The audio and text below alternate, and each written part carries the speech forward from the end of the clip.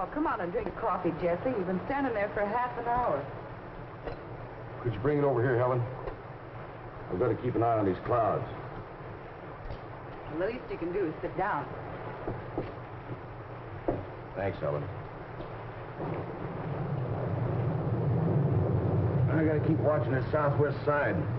It's where most of them come from. You think it's likely? No. The odds are way against it, even in weather like this. I've never seen one, but there's always a chance. Weather Bureau wouldn't issue a tornado alert without some good reason.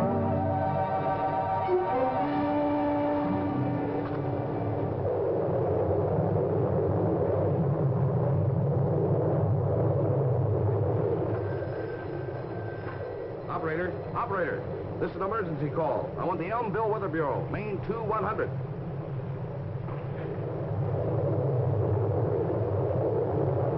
Is Brummett, Mr. Powell. Tornado about a mile east of the Winton pumping station. Moving fast your way, northeast. Yes, the bottom is touching the ground.